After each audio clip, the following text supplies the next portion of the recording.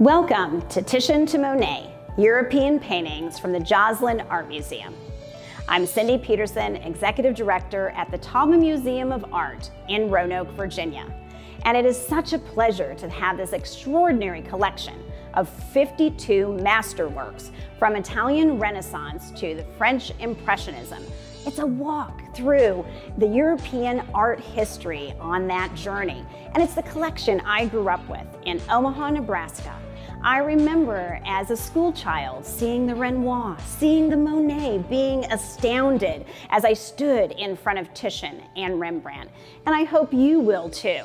It has been a pleasure to share with our community as they have come in from all ages to see these works on view. We're here in front of a piece by the artist called Titian, uh, who was a hugely popular portrait painter during the 1500s from Venice. So Titian was popular for many reasons, uh, but the most prominent of which was the fact that he painted his sitters in an idealized state. So he made them look how they wanted to look, not necessarily how they did look. And with that uh, flattering view of his sitters uh, came great popularity actually across Europe. He adopted painting on canvas much earlier than his peers, in part because it was so much easier to ship from country to country. Uh, so that in itself is really a testament to his widespread popularity. The portrait we have here is one of the finest examples of Titian's portraiture and shows a man from the Cornaro family with the falcon. So we do know for a fact that this is a gentleman from the Cornaro family. However, we do not know which member of the family it is. And that is in part because of that flattering view of the sitter. Uh, we can't place the age of the gentleman. So it could be any one of three generations of Cornaro males. Uh, however, we do know for a fact it's from the Cornaro family because the sitter is pictured with a falcon. And the Cornaro family were the largest peregrine falcon breeders in Venice during this time period. So they were quite a wealthy group and Titian has gone to great lengths to demonstrate that in this painting. So not only do you see the gentleman with the falcon in arm, you also see a dog in the corner of the painting. Uh, it's a little bit tricky to see. He is painted sort of in the darkness and that just shows the fact that uh, during this time period people actually hunted with their falcons and then would have the hunting dogs as well uh, with them when they were out uh, outdoors doing that. Uh, you also do see the ornamentation around the arm uh, with the family crest as well. So Titian has gone to great lengths to identify the sitter as a member of the Cornaro family. Now portraiture during this time um, moved away from early portraiture, which was mostly devotional in nature and related back to the church. This was a time period when those were of means or of wealth were commissioning portraiture of themselves and of family members uh, for personal use in the home and to preserve the memory of various generations.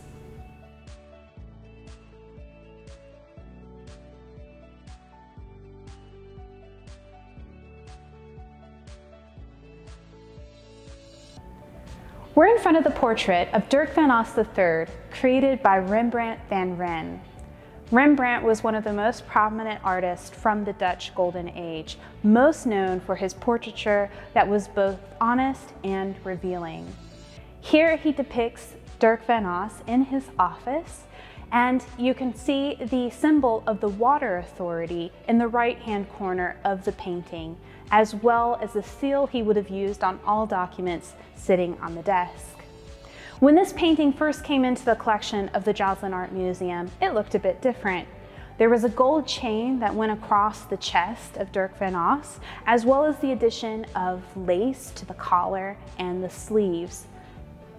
These additions were later analyzed to determine if they were later additions to the painting, and indeed they were. Those additions had been created after Rembrandt's death and might have been for one of two reasons. The first being that a later family member may have wished to have the painting altered to show their family member in a greater state. It could have also been that the painting had sustained damage over its lifetime and an artist had tried to restore the painting.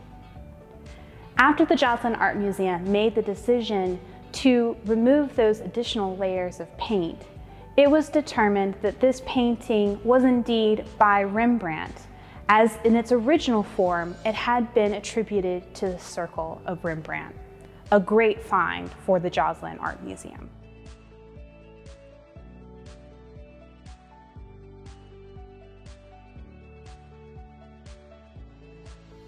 This still life of flowers in a glass vase by Maria van Oosterwijck is a fabulous example of still life genre painting, which became popular during the early part of the 17th century.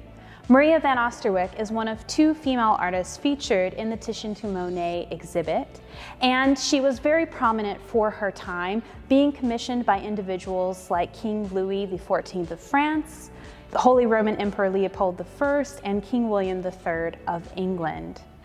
Still lifes that included flowers were particularly popular because the wealthy would have fresh bouquets of flowers in their homes, and if they couldn't have that, then why not have a fabulous painting? Maria van Oosterwijck was particularly well known for her variety of flowers that she would use within the painted bouquets. She would also include flowers in various stages of life, commenting on the mortality of these flowers. In addition, Still life paintings were very popular because they were trying to mimic life as closely as possible. So artists were able to really show off their artistic talents in capturing different textures as well as mimicking the way that uh, the light would reflect off of many different surfaces. Hence why Marie van Oosterwijck would use a glass vase in particular in this painting. You might also notice that there are various insects that are also depicted amongst the flowers, most notably the red emperor butterfly, which is featured frequently within Maria van Oosterwijck's paintings. You might also notice a bumblebee and an ant that are also present in the painting. And bumblebees are featured within that immersive experience as they float around the room with the flowers. This frame is actually original to the piece and also has eyelet brackets at the top, which would have held a curtain rod. Now the curtain would have been important for this painting because the curtain would have protected it from the smoke and soot that would have been given off by the tallow candles that were frequently used for the time. But the painting would have also been grandly revealed at various dinner parties and gatherings by the owner, adding a sense of drama to this piece.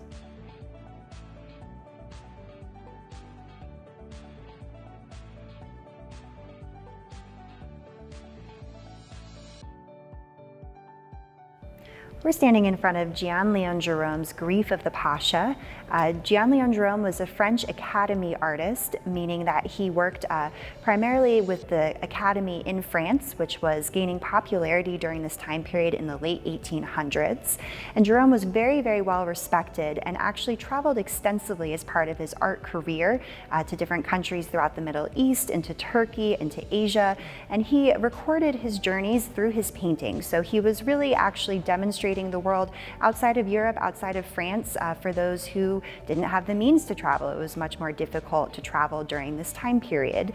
Uh, this painting here is actually a bit of a pastiche, so it doesn't represent one culture. Um, it's not a realistic painting, if you will, but instead takes several different uh, cultures that he saw throughout his travels and mismatches them up together to create this somewhat surrealist scene. So the palace itself is influenced by a Spanish palace, but the subject of the painting, the Pasha and his deceased tiger are actually inspired by a Victor Hugo poem. So the painting illustrates the last stanza of that poem um, really beautifully. Uh, you see the Pasha's poignant sadness as he looks down at the tiger on this beautifully intricately painted rug.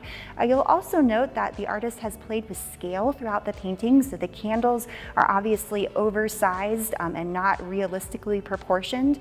Um, and this was sort of an early move or nod towards uh, surrealism in art, um, and that's something common in Gérôme's artwork as well, so playing with depth perception and scale. Um, this is a wonderful piece and very much a model of artwork coming out of France uh, during the late 19th century.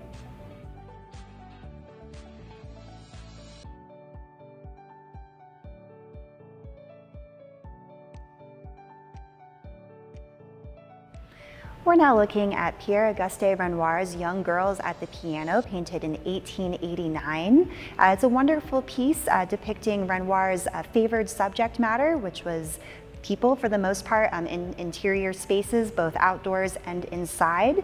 Uh, this piece, once again, shows that Impressionist movement and really highlights that loose brushwork uh, that is you know, part of the Impressionist movement, as well as the color palette, which utilized more pastels, soft tones, um, and came straight from paint tubes with the industrialization of the paint um, and the ability to purchase tubes of paint for use as opposed to artists having to mix their own colors.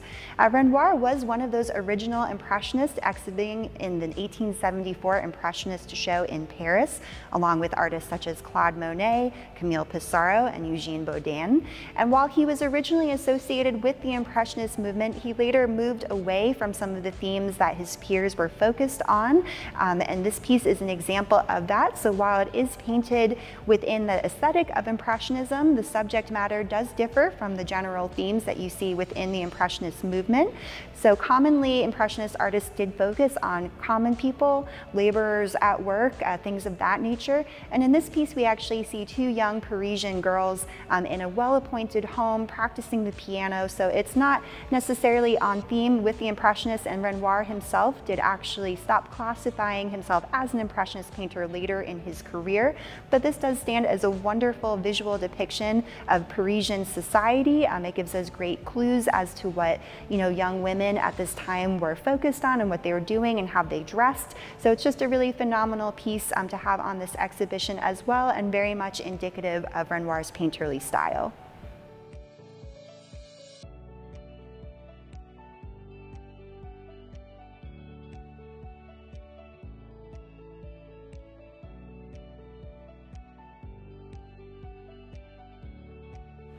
We're standing here in front of a painting by a French artist named Eugene Boudin, and it's truly a phenomenal work depicting a harbor scene in Venice Boudin was a French artist and was actually part of that initial Impressionist movement exhibiting in the first Impressionist show in 1874. And while he's a remarkable artist in his own right, uh, it's the influence that he had on those around him that is such a wonderful contribution to the Impressionist art movement as we know it. So Boudin actually grew up in a seafaring family. Uh, his father was a ship merchant and he was back and forth on the family's various boats throughout his childhood until the family actually opened up a frame store uh, when he was 10 years old. And he began making sketches uh, while he was on the water at a very young age and is actually credited as being the very first outdoor uh, plein air painter. So Boudin, uh, you know, had this wonderful career painting these harbor scenes and actually went on to mentor many young artists, the most notable of which was a young Claude Monet. At the age of uh, 16 for Monet, uh, Boudin actually encouraged him to begin painting in plein air or out of doors. And uh, that actually launched Monet's career as one of the best known Impressionist artists of all time. So I do like to actually refer to Boudin as the grandfather of Impressionist art. Uh, he continued to paint these harbor uh, ship scenes throughout the entirety of his career and made his way to Italy uh, when he was in older age and poor health, but so loved painting the outdoor scenes in Venice that he returned uh, twice before his death. This piece was painted in 1895, so towards the end of his career, and you do see many of the hallmarks of Impressionism within the piece, so the loose brushstrokes in the sky and the water and that sense of movement that he's managed to capture on the canvas.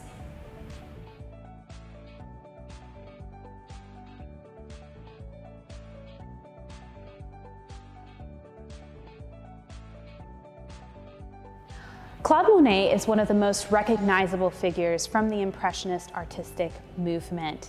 In The Meadow, painted in 1879, we see some figures traipsing through the tall grass. Those figures will come to life in the immersive experience as they move through the space while the clouds travel throughout the sky. The figures featured in the painting are Claude Monet's second wife, Alice, as well as his two daughters.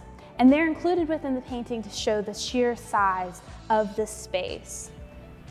Claude Monet would paint from a studio boat, which would include many of his artistic supplies, easel, canvas, and paint tubes, which was a recent invention that allowed artists to become more mobile and paint outside, otherwise known as en plein air. In this case, Monet was floating on the River Seine when he painted the meadow in 1879.